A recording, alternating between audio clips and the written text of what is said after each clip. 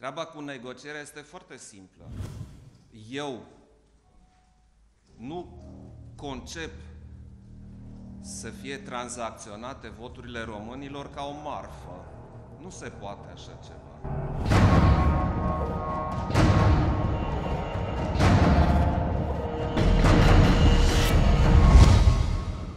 Acest motiv am spus că nu voi negocia cu candidații care nu au intrat în turul 2 pentru voturi. Nu am ce să negociez. Ei nu au în buzunar aceste voturi.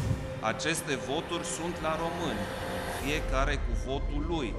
Aceste voturi ale românilor mă interesează. Ce vreți? Să mă apuc și eu de trocuri politice, să-i promit că îl fac prim-ministru de rezervă sau că îl fac uh, consilier de obiecte sau de lucruri. Nu pot să fac așa ceva. Eu îmi doresc votul românilor, nu doresc negocieri care nu duc niciunde.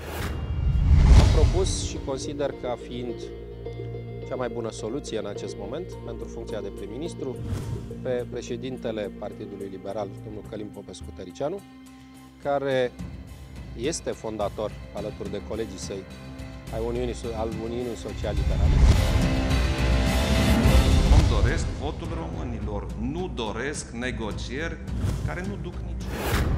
Am decis să înclin decisiv balanța prin cele 350.000 de voturi curate. Am decis să, să dau aceste voturi uh, juniorului Victor Ponta.